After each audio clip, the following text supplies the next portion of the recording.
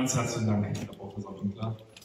Sie haben gemerkt, Sie hätten eine Münze oder Nadel fallen hören können, weil alle sehr aufmerksam gelauscht haben äh, zu Ihren Ausführungen. Ich habe jetzt das Glück und das Vergnügen, dass ich die ersten Fragen und die ersten Gedanken mit Ihnen austauschen darf ähm, und Ihnen sozusagen damit ein kleines bisschen die Zeit verschaffe, äh, sich selber schon mal Gedanken zu machen, wie ihr den Eisbrecher, die Eisbrecherin spielt, anschließend bei den Fragen, die Sie stellen dürfen. Ähm, wir haben ganz vieles angespielt. Ähm, würde sich lohnen, über viele einzelne Gedanken nochmal vertieft nachzudenken. Der Satz, den ich mir nicht nur aufgeschrieben habe, oder der Gedanke, sondern auch ausdrücklich eingekringelt habe, ist der Satz, Demokratie braucht Zeit. Ähm, ein, wie ich finde, sehr wichtiger Satz. Ähm, Sie haben das erläutert entlang unter anderem der drei Lesungen, auch im Spannungsverhältnis zwischen denen, die Beratungsimpulse geben, aber auch denen, die entscheiden. Wenn Sie diesen Satz Demokratie braucht Zeit oder diesen Gedanken jetzt mal in das Verhältnis stellen zu Twitter, Instagram, TikTok, LinkedIn, Facebook und wie all diese sozialen Plattformen heißen, die am Ende so ziemlich alles haben, nur keine Zeit. Wie ordnen Sie dieses, diesen wirklich wichtigen Gedanken, die Funktionsfähigkeit von Demokratie angesichts dieser technologischen Entwicklungen ein? Ja, das ist einer der ähm, sicherlich schwierigen Punkte. Und wenn man nochmal überlegt, wie das so war mit den Athenern auf dem Glücks, ne? das ging gewissermaßen in Echtzeit über die Bühne. Hm, die hatten auch noch keinen Hochdruck. Ähm, und äh, vielleicht haben sie Bücher geschrieben, aber das war sozusagen etwas, was eine Beschäftigung für kleine Eliten gewesen ist. Große Leistung oder anders. Die Demokratie, wie sie von den USA ausgeht, entsteht in der Neuzeit, spätes 18. Jahrhundert, ist ein verknüpftes Produkt dessen, was Marshall McLuhan die Gutenberg-Galaxis genannt hat. Die Zeitung, die Zeitschrift, auch das Flugblatt und vor allen Dingen das Buch als Wissensspeicher und Reflexionsräume, ähm, bei denen, das weiß ich, man ja in der Regel kuratierte, also von professionellen Journalisten ähm, und Publizisten bearbeitete Texte, die ihrerseits auch die Zeit hatten, darüber nachzudenken. Und äh, wenn sie gute Journalisten waren, haben sie gründlich darüber nachgedacht. Das auf der einen Seite und wenn man einen Leserbrief gewissermaßen als Intervention aus dem Auditorium, dem Publikum geschrieben hat, dann hat man sicherlich keinen solchen Text geschrieben, wie man sie gelegentlich im Netz bekommt. Ich nehme an, Sie haben in Ihrer politisch sichtbaren Zeit ähnliche äh, Zwischenrufe bekommen, die man besser gar nie gelesen hätte. Das ist ein Ausdruck gewissermaßen der unangemessenen Emotionalisierung von Politik, wo einer sagt, aus dem unmittelbaren Impuls heraus einem irgendwas äh, an den Kopf wirft, äh, ab und zu, sich am nächsten Tag auch Entschuldigung, was ich Ihnen gestern geschrieben habe, es tut mir leid, ich war irgendwie erregt oder ich äh, habe den Barus zu sehr äh, mich anvertraut. Ähm, kann man sagen, möglicherweise wird die Demokratie an den neuen Kommunikationsformen, neue sozialen Medien und derlei mehr scheitern. Ähm, Hoffnungen, die teilweise im Fach, aber auch von den Ökonomen zirkuliert worden sind, die hießen dann so E-Democracy. Also gewissermaßen alles findet am PC und äh, online statt und äh, was der Mehrwert dessen sein soll, ist mir immer unklar geblieben. Nicht? Weil ja jeden, jede Woche die Demoskopen im Kanzleramt sind äh, und äh, dem Kanzleramtsminister und gegebenenfalls den Kanzler und andere detailliert vortragen, was sie gemessen haben. Also was sicherlich zuverlässiger, methodisch zuverlässiger ist, als was die, die Demokratie hervorbringt. Aber da, da war sozusagen der Überschau, jetzt können wir die Demokratie nochmal demokratisieren und derlei mehr. Ähm, das alles hat sich als Seifenblase erwiesen. Und letzten Endes bleibt es dabei, wir müssen uns entschleunigen, gründlich nachdenken. Ähm, so mancher Entschluss, den man in der ersten Erregung oder im Zorn oder was auch immer trifft, ist zweifellos nicht das Vernünftige. Und das wird jetzt schwierig. Nicht? Sozusagen das Verfahren der Demokratie, das auf dieser Entschleunigung beruht, auf der einen Seite mit einem Kommunikationssystem zusammentrifft, das diese Entschleunigung so nicht mehr kennt, sondern eigentlich auf Beschleunigung, auf nichts, in der dann mehr ausgelegt ist, würde heißen, das, was sozusagen die Pointe meines Vortrags war, schaut auf die politische Urteilskraft. Es gewinnt noch einmal zusätzlich äh, an Gewicht unter diesen veränderten Rahmen. Wenn ich bei dem Punkt bleiben darf, in den sozialen Medien findet ja noch was anderes statt. Das äh, für Demokratie möglicherweise doppelt und dreifach herausfordernd ist. Das ist an vielen Stellen die Anonymität des Diskurses.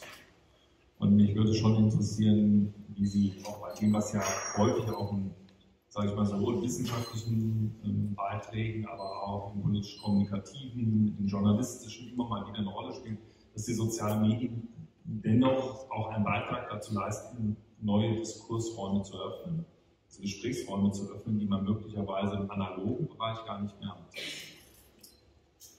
Wie sehen Sie dieses Spannungsfeld zwischen auf der einen Seite gibt es mehr Raum, auf der anderen Seite führt Anonymität ja auch zu einer Veränderung ähm, der Debattenkultur. Und das Zweite, was mich sehr interessieren würde, offen gesagt auch, weil ich mich am Wochenende das erste Mal persönlich damit beschäftigen durfte.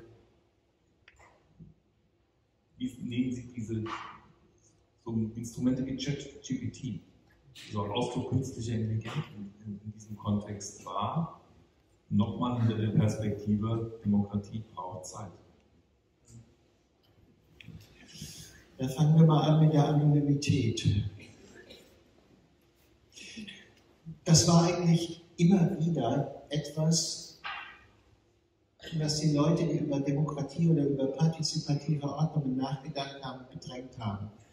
Auch im Übergang vom 19. zum 20. Jahrhundert, als äh, sozusagen das Zeitalter der Massen ausgerufen wurde und die entsprechenden Texte von äh, äh, Sigmund Freud bis auf y Gasset geschrieben wurden, ähm, der Begriff der Masse ist ja gewissermaßen eine Chiffre für die Anonymität des Einzelnen innerhalb der großen Gruppe. Und ähm, man kann auch sagen, die Reichsparteitage der NSDAP waren im Prinzip auch ein Modus der Anonymisierung von Einzelnen, die da in diesen großen Blocks auf dem Reichsparteitagsgelände in verschwunden sind. Also insofern ist eigentlich der Modus der Anonymisierung, sei das nun, dass man äh, hinter irgendwelchen eigentümlichen äh, Namen sich verbirgt äh, oder über mehrere Stationen da seine Position oder ob Putins Trolls da eingreifen. Eine technisch neue Variante dessen, was zu früheren Zeitpunkten im Hinblick auf Massengesellschaft konstatiert worden ist ähm, und was auch praktiziert worden ist. Also sozusagen die Entlastung der individuellen Verantwortung durch die Organisation von Massenschauspielen. Kann man ja ganz gut. Ich habe ein Buch geschrieben über das Ende der Nazizeit in meiner Friedberger Heimatstadt. Ich also sozusagen, das ist schon faszinierend zu beobachten, wie da plötzlich keiner mehr dabei gewesen sein wird.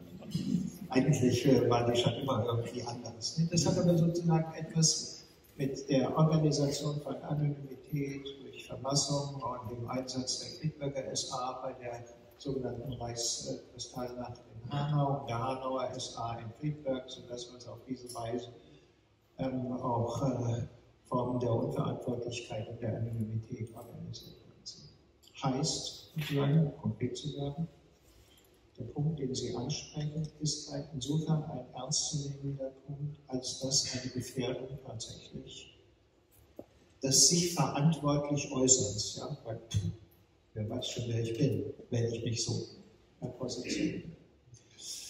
Ich selber bin damit umgegangen, weil ja, irgendwann habe ich also die Rolle auch von einem ähm, ja, Political Intellectual ähm, äh, inne gehabt, äh, kriegt man entsprechende Shitstorms.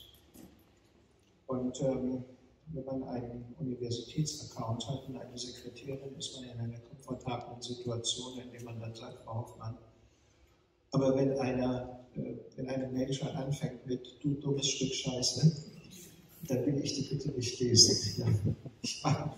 Klar, weil sonst ist man blockiert, die ganze Zeit damit beschäftigt, äh, darüber nachzudenken. Ähm, so möglicherweise auf gut Hessisch den Kerl aufs Maul hauen will oder sowas.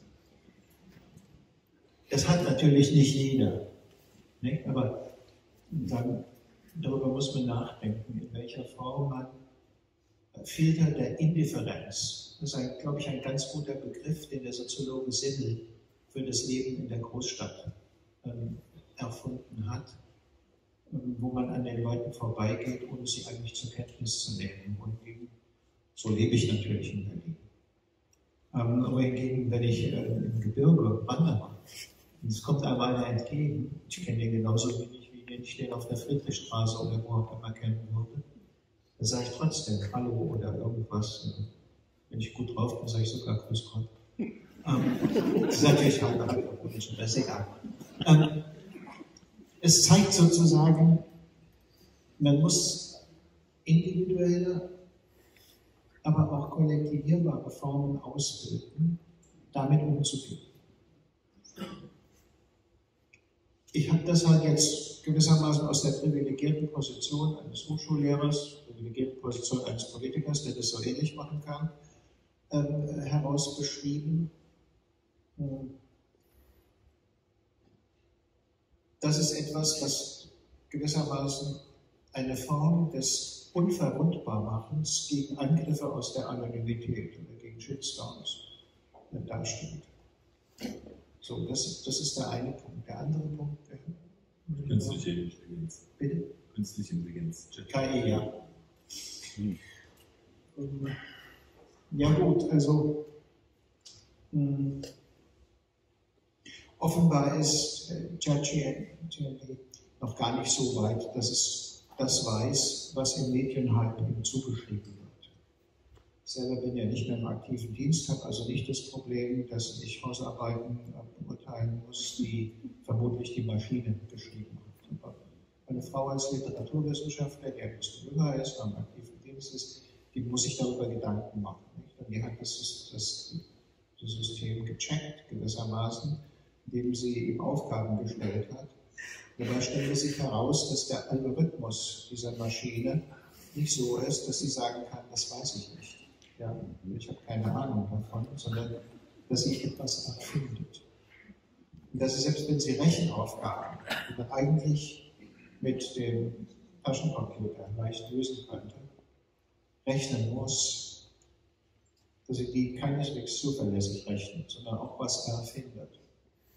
Es wird also vielleicht noch fünf oder zehn Jahre, je nachdem, wie schnell die Maschinen gefüttert werden, die Algorithmen verbessert werden, dauern, bis man sich darauf verlassen kann, dass die richtige Antworten gibt. Das ist jetzt sozusagen aus der Sicht von den Leuten, die davon ausgehen müssen, dass das, was sie als eigene Leistung von XY, also in diesem Fall nicht anonym, vorgelegt bekommen, gar nicht von dem stammt, sondern von dieser Maschine.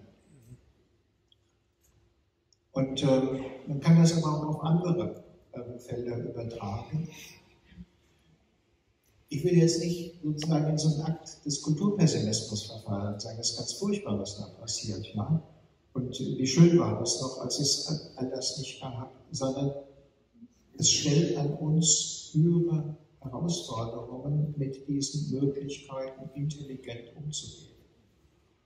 Ähm, und äh, auch kritisch äh, zu sein. Ähm, also wie gesagt, ChatGPT hat da zu einigen äh, Fragen, die ihm gestellt worden sind, wahren Unsinn erzählt.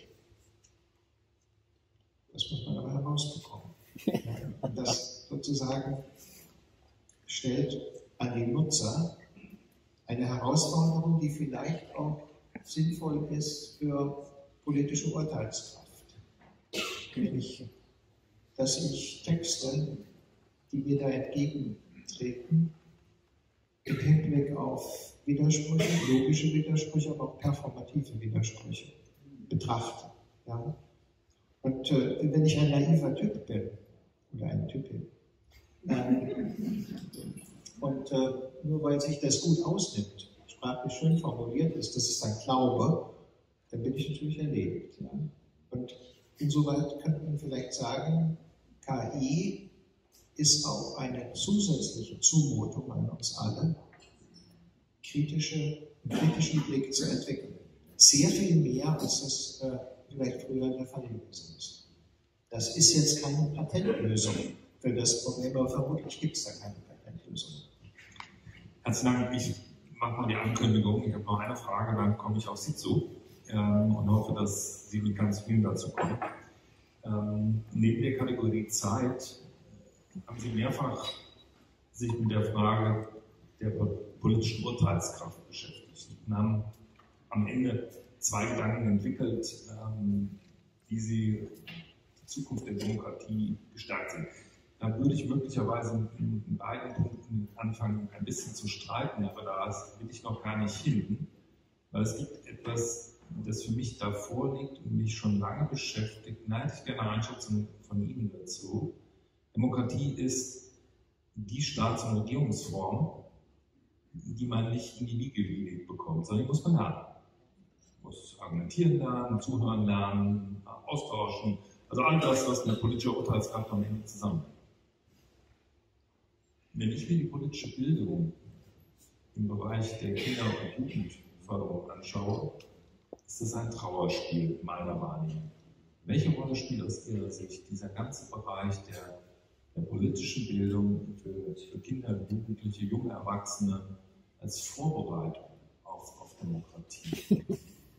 Welche Rolle spielt das noch?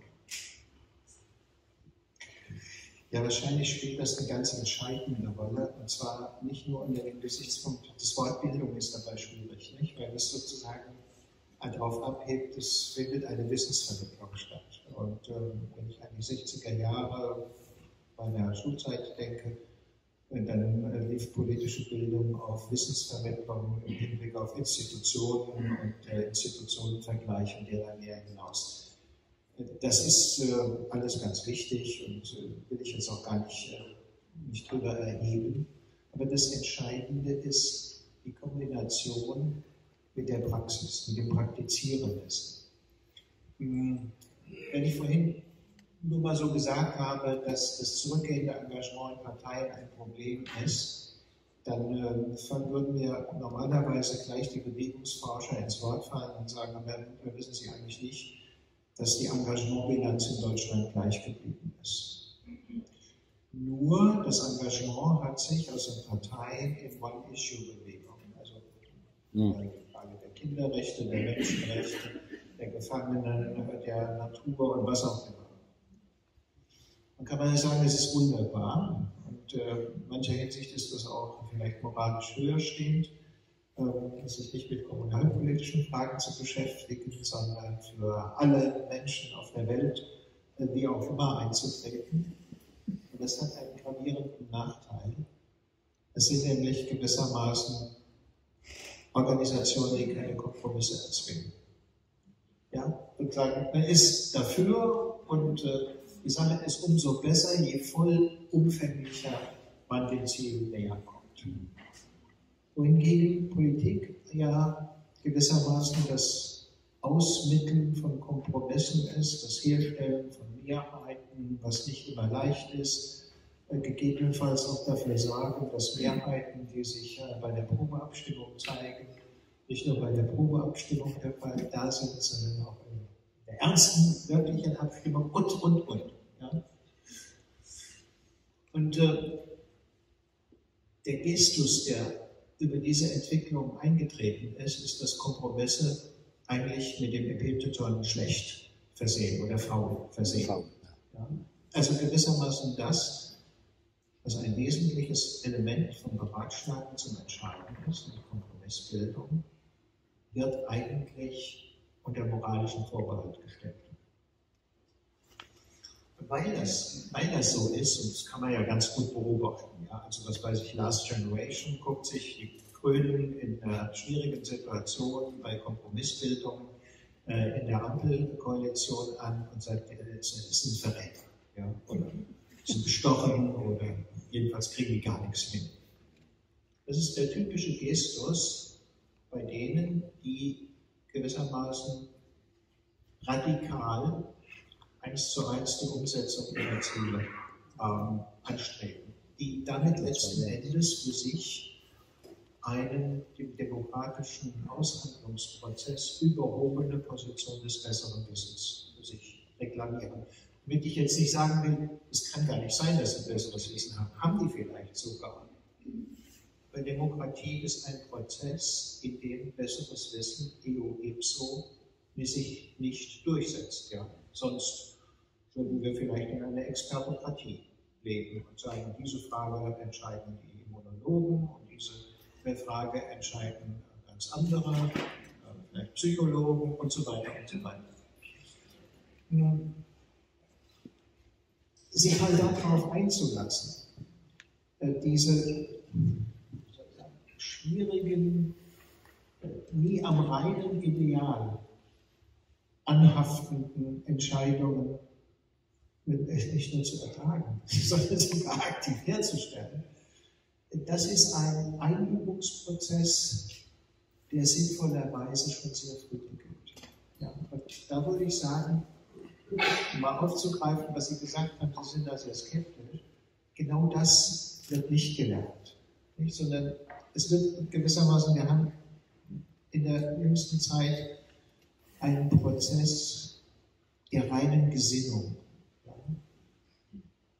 Und wenn ich einen der der Heiligen meines Fachs, nämlich Max Weber, ähm, ins Auge fasse, dann würde ich sagen, diese Formen sozusagen von politischer Gesinnungsethik sind etwas Grundverderbliches. Und was gefordert ist, ist halt Verantwortungsethik. Und die funktioniert anders als Gesinnungsethik. Und das müsste natürlich politische Bildung im Sinne des Praktizierens auch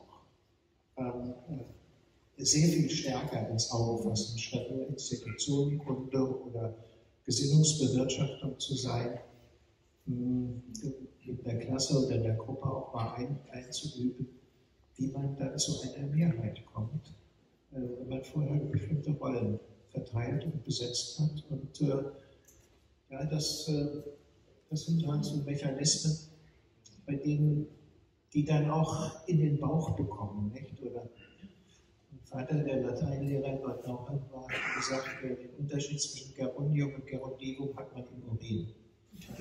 Und, ja gut, also vielleicht hat man das auch, aber ähm, dass sie das gewissermaßen quasi in den Körperfunktionen drin haben, wie bestimmte Strukturen in der Politik funktionieren. Dankeschön, Herr Möckler. Ich lasse Sie jetzt mal alleine hier oben gehe runter und sammle mal ein paar Fragen ein. Es gibt so einen eisernen Grundsatz der Moderationstechnik. Gebe niemals das Mikrofon aus der Hand. Und deswegen würde ich mit runtergehen, wie die Chancen, oder Sie gehen dann, genau, wir, wir verteilen das jetzt so ein bisschen.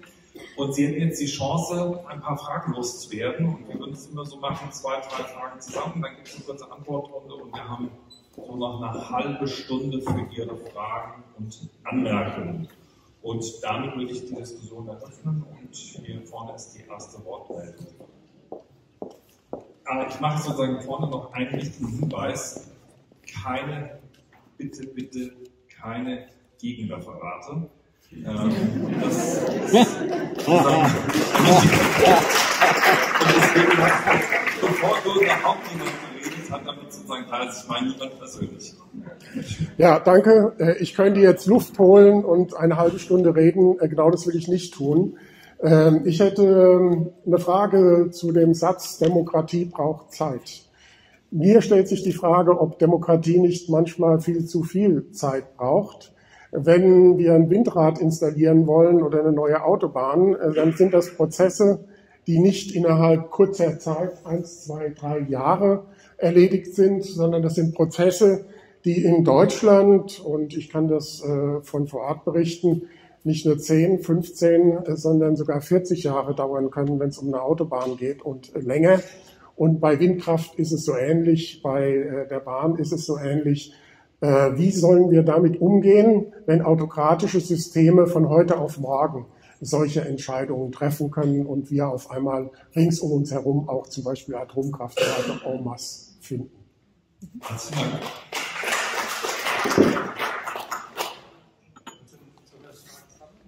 Ja, also meine Bitte wäre einfach, dass vielleicht hier vorne einfach das so ein bisschen sortiert das Video aus der Hand geben, halt gefährlich. Erstmal vielen Dank für den, den tollen Vortrag. Ähm, mein Name ist Edgar Göll, ich bin Zukunftsforscher und Transformationsforscher. Ich könnte mit Ihnen jetzt wahrscheinlich stundenlang über die letzte Generation reden und, und andere Modelle der Demokratie. Ich will aber ein anderes, äh, eine andere Dimension öffnen, äh, weg von Institutionen, äh, Strukturen und Prozessen und so weiter, sondern gewissermaßen die Sinnfrage stellen, ähm, weil ein Verdacht könnte ja sein bei unseren modernen Gesellschaften, ich sehe das auch in den USA und vielen anderen Ländern, dass gewissermaßen das Privatleben, der Konsum und alle diese Dinge eine solche Rolle eingenommen haben, dass da offensichtlich, Sie haben es ja selber erwähnt, die Bereitschaft, auch an andere zu denken äh, oder an das Ganze zu denken und sich entsprechend zu engagieren, doch sehr stark reduziert ist oder bestimmte Formen annimmt, die halt dann doch irgendwie sehr egozentrisch äh, akzentuiert sind. Äh, ich komme deshalb auch darauf, weil Ibn Khaldun, der vor 600 Jahren als arabischer Soziologe gewissermaßen gedacht hat und da allerdings ein bisschen sehr abgeschwiffen oder abgeschweift ist in so einer Art Generationen, äh, Genealogie und dann gemerkt hat, nach sechs, sieben Generationen von Herrschern ähm, geht gewissermaßen diesen Gesellschaften die Luft raus äh, und sie werden dekadent und so weiter. Das ist natürlich auf uns nicht direkt zu über, über, übertragen, aber vielleicht dann doch irgendwie eine Möglichkeit, über die Schwäche oder das Schwachbewusstsein unserer Demokratie nachzudenken. Dankeschön. So, eine nehmen wir noch mit in der Runde und dann ist Professor Möckler dran. Ich habe gelernt, Demokratie braucht Verantwortung. Vielen Dank dafür. Und mich würde interessieren, welche Motivation Sie einer Demokratie konsumierenden Person im Sinne des, der Supermarkt, äh, des Supermarktvergleichs geben würden, sich politisch zu informieren und äh, politisch ähm, auf dem Laufenden zu sein und auch verantwortungsvoll dann entscheiden zu können. Aber ich muss noch mal nachfragen. Eine Supermacht. Supermarkt. Supermarkt. Supermarkt. Gut. Herzlichen Dank, Herr Munkler. Sie dürfen, wenn Sie möchten. Naja, vor allem soll ich. Das stimmt, aber es war charmanter, so wie ich es gesagt habe. Das ist Mikro. Die Frage der Zeit. Ja, wir haben gewissermaßen mit der Vorstellung liberale Einspruchsrechte stärker zu machen, einen Prozess der Juridifizierung eingeleitet, bei dem vielleicht die Gremien nach einem Jahr das entschieden haben, aber dann liegt es neun Jahre bei den Verwaltungsgerichten.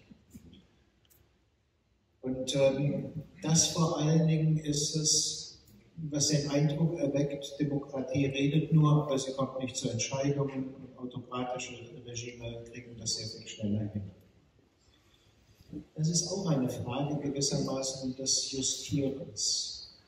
Wenn ich das richtig erinnere, ist der Prozess der Ausleitung von Einspruchsrechten, ähm, das Geltendmachen von Mindermeinungen und derlei mehr in hohem Maße unter dem Druck Demokratisierung der Demokratie gelaufen. Hat aber Und das ist ja das Interessante zu beobachten. Politik hat sehr viel mit paradoxen Effekten zu tun. Das genaue Gegenteil bewirkt. Ne? Das ist, glaube ich, in der politischen Klasse inzwischen als Problem angekommen. Also wenn ich mir so einen Begriff vornehme wie Olaf Scholz, der bei jeder Gelegenheit sagt, das ist das neue Deutschland-Tempo ähm, und äh, sich da auf den Bau von äh, diesen Terminals äh, bezieht, dann bringt das zum Ausdruck, dass der Begriff naht, es gibt ein Unbehagen daran, dass nichts vorangeht. Ähm, heißt, ja, man muss auch ab und zu mal in der Lage und bereit sein, solche Regeln des Aufhaltens, die sicherlich mit der guten Absicht der Vermeidung von falschen Entscheidungen eingeführt worden sind, zurückzuführen, weil möglicherweise das Vermeiden von falschen Entscheidungen, wenn man es zu Ende denkt, in einer Paradoxie endet, nämlich dass gar keine Entscheidungen mehr jedenfalls umgesetzt werden. Das kann es ja auch nicht sein. Und ähm, ich glaube, hier kann man beobachten, vorsichtig, äh, aber unter dem Druck der äußeren Verhältnisse sich zunehmend aufbauend, eine Vorstellung, wir müssen auch wieder schneller werden und zum Punkt kommen. Ja. Ähm, das Generationenmodell. Ja, das ist im Prinzip äh, nichts, was der Ibn Khaldun als erster gedacht hat. Das kann man auch schon bei früheren Kreislauftheoretikern wie dem antiken Historiker, Historiker Polybius und anderen feststellen. Die Beobachtung, dass Generationen sich verbrauchen. In der Wirtschaftswissenschaft heißt es ähm, The Buddenbrock Dynamics. Nicht? Sozusagen, dass der Urgroßvater ein engagierter Unternehmer war und der Enkel spielt nur noch Geige äh, und der Urenkel ist eine total verweichlichte Figur. Mancher Hinsicht ist das auch einhergehend mit einem Totalitätsverlust. Ja? Also von durchsetzungsfähiger äh, Handelshausunternehmer, der muss eine gewisse Rücksichtslosigkeit aufbringen, während der Geige spielt, sollte vielleicht nicht unbedingt rücksichtslos mit seinem Instrument umgehen. Das heißt, gerade Demokratien, aber auch andere Herrschaftsformen unterliegen Prozessen oder unterliegen der Erfordernis der Revitalisierung.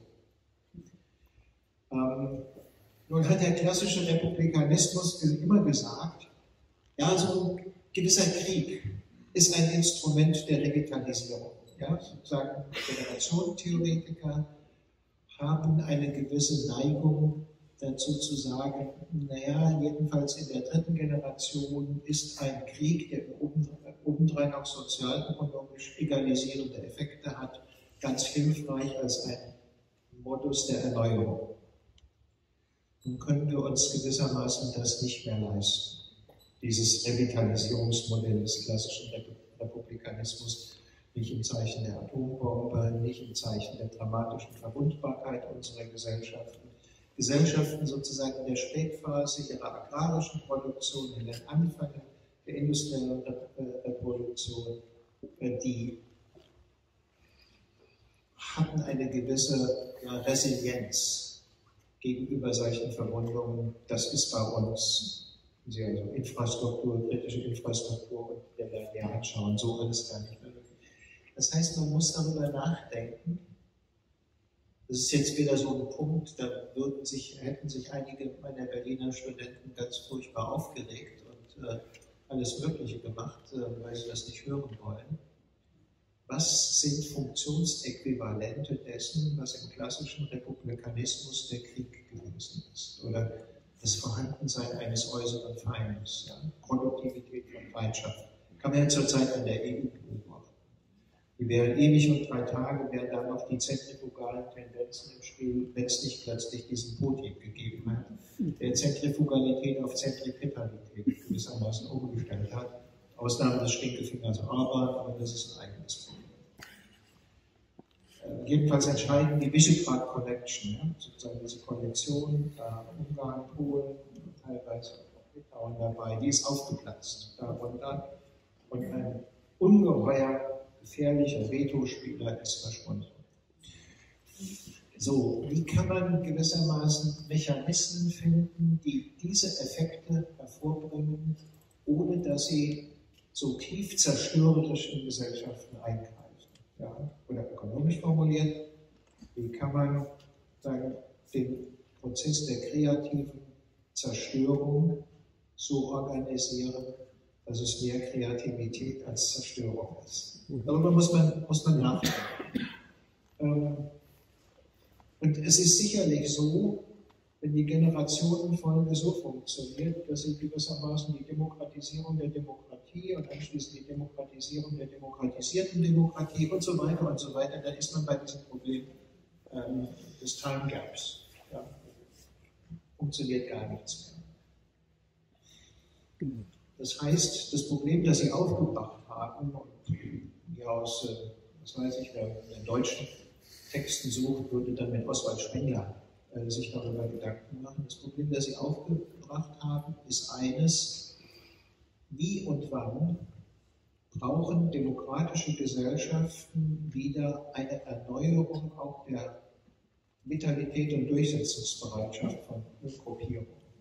Ein Ende eines sehr zarten und liebevollen Umgangs miteinander. Klassische Antwort der Demokratietheoretiker würde darin bestehen, das tun sie. Das tun sie, weil sie Demokratien sind und organisierte Konkurrenz darstellen. Und diese Organisation, organisierte Konkurrenz ist gewissermaßen ein Zwang zur Durchsetzungsfähigkeit. Sie mir noch ganz kurz gestatten, sozusagen einen kleinen Ausflug. Am, am, Anfang der 90er Jahre hat äh, Francis Fukuyama dieses Buch The End of History geschrieben. Nicht mit der, mit der Vorstellung, es passiert nichts mehr, weil Ende der Geschichte, sondern es gibt keine großen Alternativen mehr zur Demokratie. Und mit diesem hegelischen Argument, das hat er durchgespielt, durchgespielt, durchgespielt und kam aber dann zu einer Beobachtung von Friedrich Nietzsche, die darauf hinauslief, dass die letzten Menschen, sagen wie Nietzsche das beschreibt, ersten Buch von Also sprach Zarathustra, die schauen in die Sonne und blinzeln und sagen, wir haben das Glück erfunden. Und sie haben die Pülferchen für den Tag und die Pülferchen für die Nacht. Also kurzum, was der Nietzsche da beschreibt, ist im Prinzip ein großes Maler.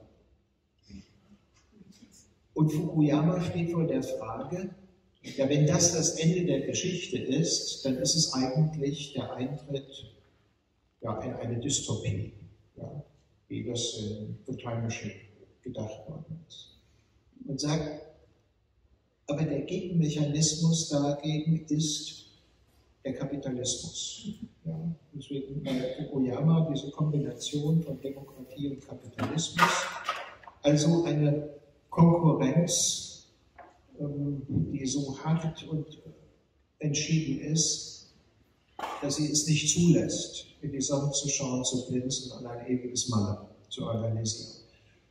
Schaut man ins deutsche Fernsehen, hat man gelegentlich den Eindruck, es ist ein großes Mal alles. Ja, also, ich habe gesehen, die Geißen sind jetzt abgesetzt worden.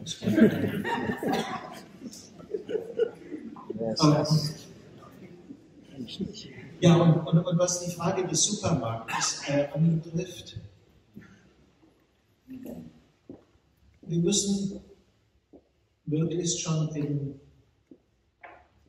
den Anfängen der Schulzeit lernen, dass es kein Angebot gibt, wenn sich nicht in einer Demokratie Leute zusammenfinden, die Angebot organisieren. Und äh, dass es also darauf ankommt, diesen Supermarkt, wenn Sie so wollen, zu übernehmen oder jedenfalls in ihm selber auch Produkte und äh, Vorstellungen einzubringen. Und äh, wenn die Klimakleber die natürlich für einen Berliner ein ernstes Problem darstellen, wenn die Klimakleber sich gewissermaßen nicht diesen elitären Gestus, wir wissen es besser und wir zwingen euch dazu, ähm, hätten, sondern sich darauf einlassen würden, ihre Einsicht mehrheitsfähig zu machen, dann wäre das gewissermaßen das Gegenteil des Supermarktprozesses. Prozesses. Kann sein, dass sie dazu nie kommen, ja. Aber das, was sie betreiben, ist gewissermaßen eine softe Ökodiktatur. Ähm, das wäre sozusagen das Gegenteil des Supermarktes, also sozusagen vor dem Supermarkt einen kleinen Stand mit frischem Gemüse oder so etwas. Ja. Fällt mir jetzt ein. Ähm, wenn das funktioniert, ist es auch ein Beitrag zur Revitalisierung der Demokratie.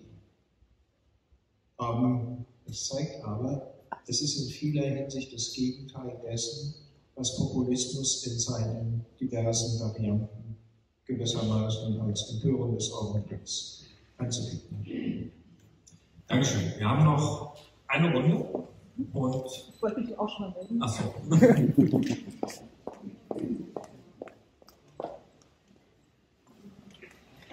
Ich bin evangelischer Gemeindepfarrer. Alle sechs Jahre verführe ich Menschen zur ehrenamtlichen Mitarbeit in den Kirchenvorständen. Dann sage ich, hier kannst du kreativ sein, hier kannst du verantwortlich mitgestalten auf der unteren gemeindlichen, dörflichen Ebene. Was die Leute, wenn sie gewählt werden, dann aber vorfinden, ist ein Wust von Verordnungen, Regelungen, bürokratischen Dingen, die dahin gehen, dass zum Teil also Formulare, die als einfach und schlicht gelten, von niemandem von uns ausgefüllt werden können. Und das haben wir nicht nur bei den Kirchen, das wiederholt sich bei den Gemeinden, also im Kommunalen, das wiederholt sich in den Vereinen und das wiederholt sich in den eigentlich über, überall. Und wenn nach Corona ein Beispiel 30 Millionen für Vereine bereitgestellt wurden und eine große Tageszeitung dann nachfragt, warum sind die denn nicht abgerufen worden? Und die Vereinsvorstände sagen, ja, wir konnten die Formulare nicht ausfüllen. Dann, dann erstickt das auch schlichtes, einfaches Bemühen um Und das lässt mich verzweifeln.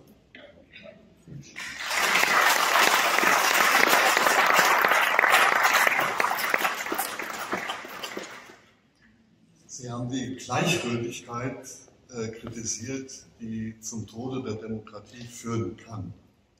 Stimme ich Ihnen erstmal zu. Äh, ich bin so alt wie Sie. Wir haben ganz viele Epochen der deutschen Demokratie erlebt und die waren, weiß Gott, nicht alle gut. Also 50er, 60er Jahre musste Deutschland Demokratie überhaupt erstmal lernen. Und diese Gleichgültigkeit, ist das nicht eine Verzagtheit? Also wenn in der Mitte von Berlin ein altes Stadtschloss wieder aufgebaut wird, in der jetzigen Zeit kann man das so deuten, dass jeglicher Mut und die Fähigkeit zur Vision vielen Verantwortlichen fehlt. Und wie können wir zu, dieser, zu diesem Mut, sich gesellschaftlichen Fragen zu stellen, kommen? Und wenn das der Fall ist, und da gibt es ja Epochen in der Geschichte, dann hat es auch funktioniert, dann funktioniert auch eine Demokratie. Dankeschön. Eine Frage noch, oder anderthalb, und dann, genau, Sie dürfen ja noch, und dann Frau Soppert darf noch eine, und dann ist Herr Möckler abschließend. Ich mache die Frage kurz. Ich frage aus einer anderen Richtung. Nämlich würde ich gerne fragen, wie Sie persönlich die Kraft der Kultur, die Kraft der Kunst einschätzen. Und ich würde die Frage gerne auf zwei Ebenen geben. Nämlich zum einen auf die ein bisschen ältere Ebene, auf die Ebene Josef Beuys, der ja zwischen Politik und Kunst gewirkt hat und da auch einfach diese Frage dieser, dieser Kraft, die Gesellschaft mit einzubinden. Und die andere Ebene, die würde ich gerne dahingehend fragen, dass sich ja Museen immer mehr und in den letzten Jahren immer stärker als demokratische Institutionen verstehen, die auch dem Fortbestand der Demokratie sich verpflichtet fühlen, inwieweit sie einschätzen, was kulturelle Institutionen dahingehend leisten können. Dankeschön. Frau Sobot, abschließend. Also ich wollte mich nochmal anschließen an Ihr Buch, wo Sie auch sehr genau schreiben, dass die kommunale Ebene eigentlich das Experimentierfeld sein kann, wo wir praktisch ausloten, wie Demokratie weiterentwickelt, gestärkt und aufgebaut werden kann. Und wenn ich Sie schon mal da habe, wollte ich Sie natürlich fragen, ob Sie für unseren Ansatz hier in Nutzbach im realen Demokratikum uns noch einen Tipp mitgeben können. Weil was wir ja schon versuchen, ist sozusagen anschließend an die Analyse das jetzt ganz praktisch umzusetzen und zu sagen, wie machen wir das denn, politische Urteilskraft bilden, wie kommen wir denn schon praktisch bei den ganz Kleinsten mit Impulsen an, dass wir sie in ihrem ja, Rechten stärken, die Kinderrechte aufbereiten, auch zu gucken, wie können wir sozusagen Engagement in der Stadtentwicklung so, so gestalten, dass es auch wieder Spaß macht, sich mit daran zu, äh, einzubinden, daran zu partizipieren. Ähm, aber das ist ja, sag ich mal, das sind, glaube ich, Bausteine, die auf dem Weg dahin gehen, heißt aber nicht automatisch, dass es sozusagen auch einen Rand in den politischen Parteien gibt ja, oder in das kommunalpolitische ähm, ja, Mandat oder so. Und ähm, das ist so etwas, wo ich nachhaltig mich frage, wie wir das auch gelingen, weil am Ende muss man ja dann doch alle möglichen Facetten miteinander zusammendenken. Man muss das große Ganze in den Rahmen bringen und das geht nicht, wenn ich nur einzelne Punkte rausgreife, weil ich sage, jetzt gucke ich mir ein Areal an oder einen Prozess an oder ich vermittle einen Zugang zu einer bestimmten Fragestellung. Also wenn Sie da einen Tipp haben, den nehme ich gerne. Haben Sie? Fangen wir mal mit dem Kirchenvorstand an und dem Formular. Natürlich gibt es sozusagen immer ein Hin und Her und Her und Hin. Also es gibt ja sozusagen die Partei der Entbürokratisierung, die nennt sich in der Regel äh, liberal. Ähm, die ist immer kleinlaut, wenn dann mal wieder Korruptionsvorwürfe oder Unterschleifen oder was es dann halt auch gibt, auftaucht. Man kann sagen, je mehr Geld da zu verteilen ist, desto mehr tauchen Leute auf, die unberechtigt oder hinterhältig sich Geld aneignen. Teilweise war Corona da ein wunderbares Beispiel dafür. Ein paar Sachen sind öffentlich diskutiert worden, andere Sachen sind weniger diskutiert worden und derlei mehr.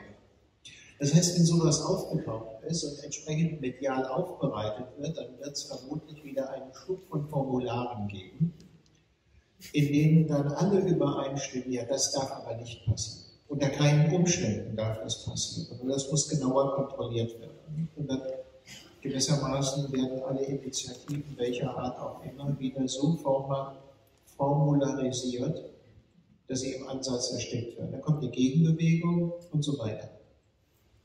Ähm, das Ziel ist natürlich da, ein, eine vernünftige Balance hinzubekommen und nicht den Auslag nicht so groß zu machen, sozusagen Überformularisierung und dann wieder Unterschleif und dann wieder Überformularisierung und wieder Unterschleif.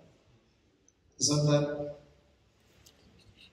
ein mittleres, in dem Initiative möglich ist, aber gleichzeitig Korruptibilität in Grenzen halten. Das wäre dann auch eine Frage der politischen Urteilskraft bei denjenigen, die so etwas äh, im Auge haben und bedenken, dass natürlich ich durch Überbürokratisierung von Entscheidungen auch Initiativen blockiere und tot machen. Das heißt, dass ich immer ein Element von Korruptionsresilienz in der Ordnung drin haben muss, dass ich das akzeptieren muss. Und dass man auch solche medialen Schweine, die dann durchs Dorf getrieben werden, mit Vorsicht zu behandeln hat. Und äh, dass die möglicherweise ganz gegenteilige Effekte äh, dann auf Dauer haben.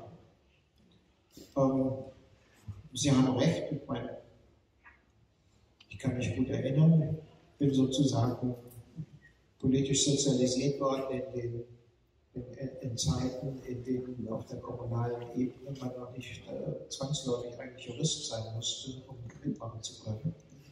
Ähm, aber je größer sozusagen die Gemeinden wurden, desto stärker wurde der Druck, sich innerhalb äh, eines juridisch-ökonomisch Systems äh, positionieren zu können. Und ganz viele, die vorher da drin waren in der Kommunalpolitik, die sind dann sozusagen mit der Zeit ausgeschieden.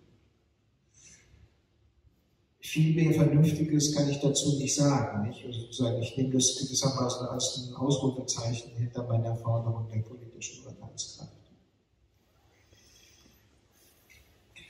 Ja, in der Geschichte der Republik gibt es natürlich auch so etwas wie eine Verselbstständigung von stabilen Erwartungen, also sozusagen man hält Demokratie und ihre Belastbarkeit für selbstverständlich und hat nicht mehr so eine starke Vorstellung davon, in welcher Weise sie dem Prozess der Erneuerung unterliegt. Ja? Also sind wir dieselbe Generation, nicht? sozusagen irgendwo in der zweiten Hälfte der 60er Jahre politisiert unter dem Imperativ,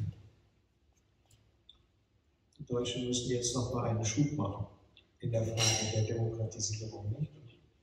Die Brandts Formulierung, mehr Demokratie wagen, da ist ja in vieler Hinsicht nur mehr Demokratie angekommen. Aber dass das auch ein Wagnis ist, nämlich dass das Voraussetzungen hat, dass diese Demokratie das äh, ist natürlich ein bisschen verschwunden. Hm. Wenn man sich das nochmal so vor Augen führt, ähm, ohne jetzt gewissermaßen zu sagen, ja, aber früher war das besser. Nicht? Das war ja so meine Argumentation durchweg, keineswegs. Nicht? Wir müssen wieder zu den Verhältnissen der hohen Parteimitgliedschaft und der mehr. Das hängt auch von Konstellationen ab. Nicht? Äh, sozusagen von der Konstellation der Nachkriegszeit, der Erfahrung äh, von äh, autoritären, totalitären Ordnungen, der Bereitschaft, sich zu engagieren, möglicherweise die Erinnerung den Schrecken der Blockwarte noch da ist, etc., etc. Aber das versickert dann irgendwie. Und dann wird es so selbstverständlich und gewissermaßen, es tritt eine Situation der generalisierten Nostalgie ein. Ja, früher lernten wir noch das und jenes. Dagegen anzuarbeiten gehört natürlich auch zu dem, was ich Revitalisierung nenne. Sozusagen Wiederbelebung, Neubelebung. Und vermutlich ist Demokratie vor allem die Form, die permanent dieser Revitalisierung bedarf. Und da gibt es nicht einen Königsweg, sondern da muss man das hier und da und dort ausprobieren und auch studieren, inwieweit die jeweilige Generation sich dadurch ähm, affizieren lässt oder aber nicht. Dabei können, kann die Kunst eine wichtige Rolle spielen, weil die Kunst hat natürlich andere Möglichkeiten, sozusagen ins, ins Ungefähre, ins Riskante hineinzudenken, als das für jemanden, der wissenschaftlich zulässig ist, weil die in ganz anderer Weise Methoden gebunden sind. Ja. Ähm, und äh, wir sind auch äh, kritisierbar und widerlegbar in unseren Aussagen, wenn bestimmte methodische Erwartungen nicht eingehalten werden. Das große Privileg der Kunst und der Kultur ist, dass die nicht ans Kreuz der Methoden geschlagen sind. Ähm, insofern darf man von denen auch durchaus etwas erwarten. Was sozusagen das Pendant der Kreativität der Kunst anbetrifft, nämlich das Museum, um, habe ich mich ja in der Frage der Paulskirche, der Veränderung der Paulskirche engagiert. Ähm, man hat gesagt, die Paulskirche muss äh, damit sie als Ort der Demokratie von 1848, 49 erfahrbar ist, auch wieder so umgebaut werden, dass es sich nicht anfühlt wie ein Mausoleum, was zurzeit der Fall ist. Ähm, und ein Haus der Demokratie, das gewissermaßen die Frankfurter als Bonbon dazu bekommen, damit sie dazu bereit sind, etwas zu machen, muss dann sozusagen die, auf, die emotionale Aufgerautheit der Besucher dieses Ortes bearbeiten können. So, so ungefähr. Ich glaube nicht, dass das äh, äh der Gauder-Kommission gelungen ist, äh, Vorschläge zu machen, die dazu führen werden, weil zu viele Spieler dabei waren, ähm, die Kirche dabei, die Stadt Frankfurt, der Bund, der Geld gibt, äh, Telekom, die da ein paar Sendemasten untergebaut hat und äh, die natürlich nicht verändert werden kann und so weiter und so weiter. Das wird eine kleine, bescheidene Geschichte sein, aus der man vermutlich lernen kann, wie es nicht funktionieren sollte. Paulskirche wäre wichtig gewissermaßen gegen die Dominanz der Bismarckischen Reichsgründung, rechts-links, rechts, Sie sehen da ja ähm, äh, bestimmte Adler und äh, bestimmte Reichsfahrten äh, die demokratische Tradition so deutlich zu machen, dass sie nicht von vornherein als eine Niederlage, ja, die gescheiterte Revolution von 1849, äh, sich darstellt. Das wäre ein Beispiel dafür. Jetzt die letzte Frage, äh, kommunale Ebene als Experimentierfeld.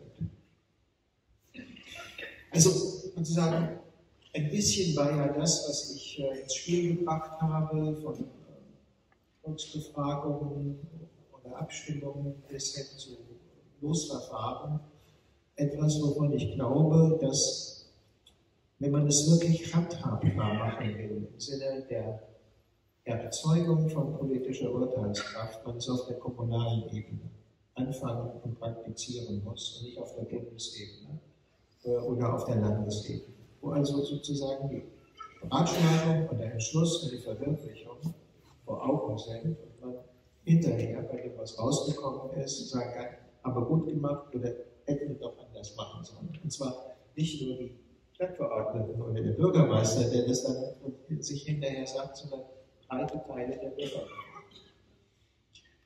Das heißt vermutlich aber, wenn ich das mal so erinnere, wie das bei mir in der ersten Hälfte der 80er Jahre war, hm, dass man weniger mit fertigen Lösungen, die man vorher ausgearbeitet hat und die man dann der Bevölkerung klar macht, das wäre doch ganz gut für euch, ja, sozusagen mit relativ viel äh, Süßstoff versehen, ähm, an die Leute herantritt, mit dem Ziel, ich muss die davon überzeugen dann ziehen wir das durch und gut.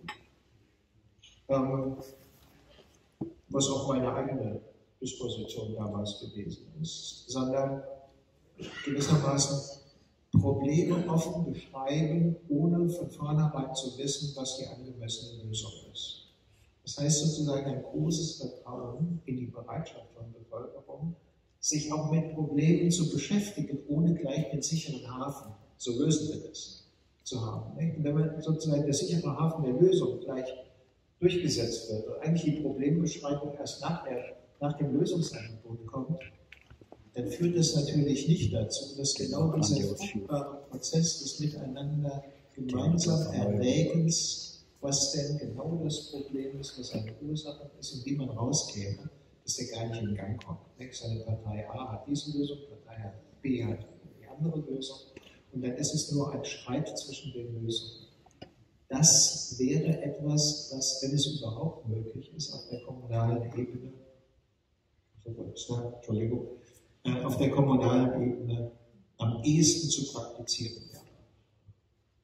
Herzlichen Dank, Herr Münkler. Ich würde gerne, bevor ich dem Bürgermeister nochmal vier kleine Bemerkungen machen wollen. Ähm, die erste ist, Sie nochmal daran zu erinnern, dass der Büchertisch der Buchhandlung Binderlage dort hinten ist und es die Möglichkeit gibt, signierte Bücher von Professor Winkler Möckler heute mitzunehmen. Ähm, das ist die erste Bemerkung. Die zweite Bemerkung, die ich machen will, ist, äh, mich ganz herzlich bei dem Organisationsteam für den heutigen Abend zu bedanken. Weil so eine Veranstaltung findet nur statt, weil vorher und auch nachher ganz viele Menschen mit fleißigen Händen und Gedanken dafür sorgen, dass wir heute Abend hier so sitzen können, dass die Technik funktioniert, dass eingeladen wurde, dass eine Gestaltung funktioniert, dass das Wasser auf dem Tisch steht und deswegen dem Organisationsteam ein ganz herzliches.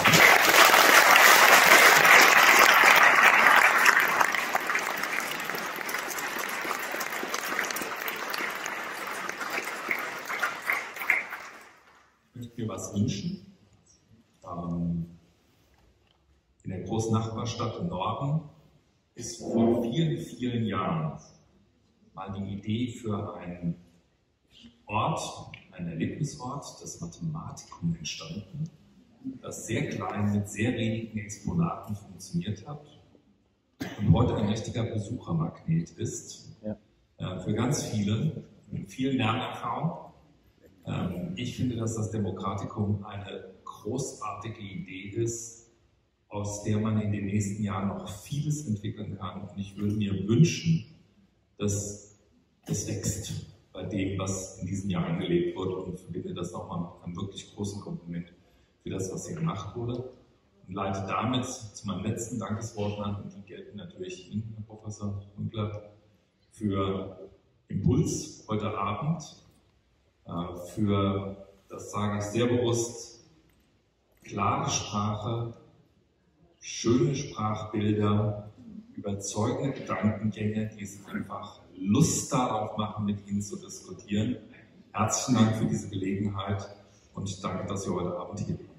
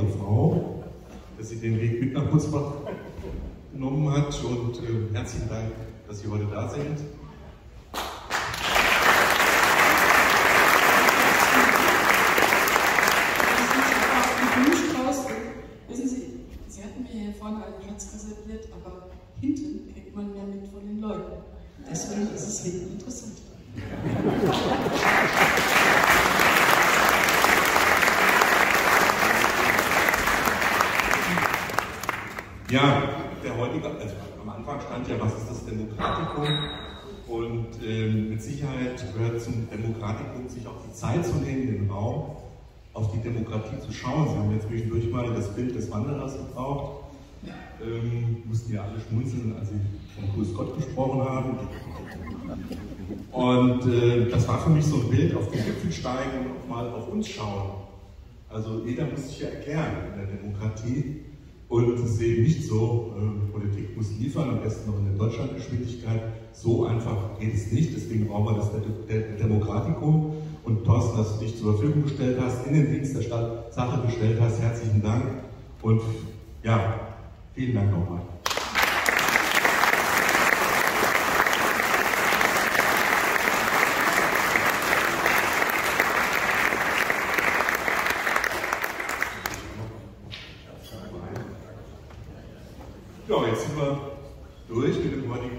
aber Sie haben noch die Gelegenheit, ähm, an den Tisch zu gehen.